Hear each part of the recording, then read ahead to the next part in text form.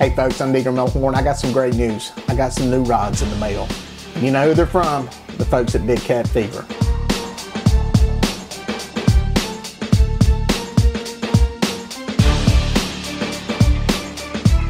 These are the white ones, the ones I've been waiting for. Uh, they're a medium action rod, much the same as the medium heavies that I've been fishing with, except they're white. Uh, length of the rod is the same. Components are very similar. The reel seat's a little bit nicer. It's been upgraded some. Overall, it's a really great rod and I'm putting it to the test. I've got about three trips on the water with it so far, trying it out on some fish. And so far, it's turning out to be a pretty impressive rod. All right, hooked up on my first fish on these new Big Cat Fever rods. Don't notice they're white. white Big Cat Fever rods. I love it. Great for night fishing. They're actually a medium action, a little bit lighter than what I've been fishing. Which is great here lately because we're starting to get into a tremendous channel cat bite. The bigger rod's a little bit overkill for them. But honestly, reservoir fishing, like I do most of the time, the medium action rod's all you need, period.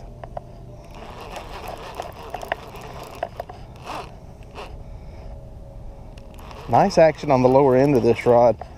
Good flex at the tip. Very forgiving. Very forgiving.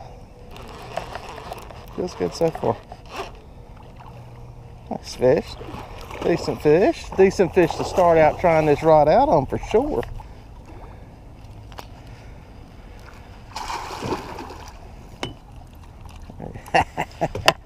A good start. Ah, there he is. Fish. Oh yeah, well into the teens. Easy girl. Well into the teens. Good one. If you fish lakes and reservoirs, any area where you are not needing a lot of heavy action for river current, slinging a lot of weight, this is probably the rod you want to go with. This one got a fish on it. Ah, does have a fish. Nice. Did get hooked up.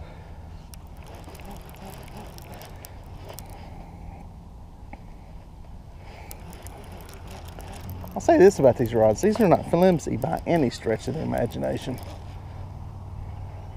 That may be a decent fish. I think it may be about like the last one. See some bow in that sucker this time. Nice. It's up near the top. Not a huge one. We'll take it.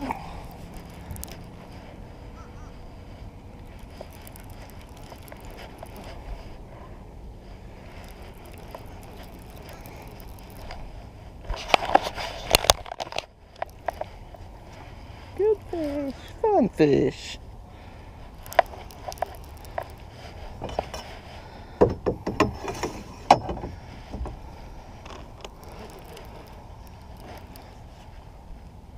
Ooh, bigger than I thought. Oh, way bigger than I thought. Bigger than I thought. Where have you heard me say that before?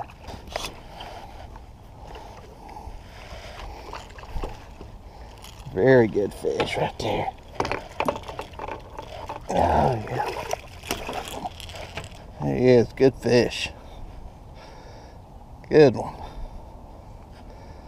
If all I fished was lakes and reservoirs, this would probably be the only rod that I own. It's a great rod. If you're looking at getting a new rod and you fish lakes and reservoirs, or if you're fishing in areas that have smaller fish where you're catching channel cats, blues up to 10, 15 pounds, this is probably a really good rod to go with.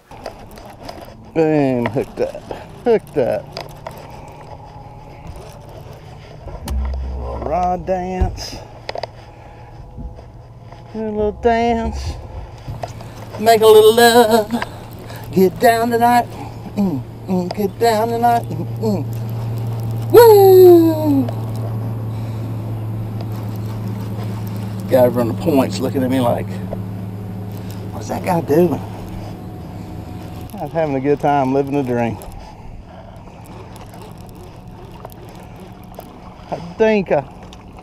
A little dinka.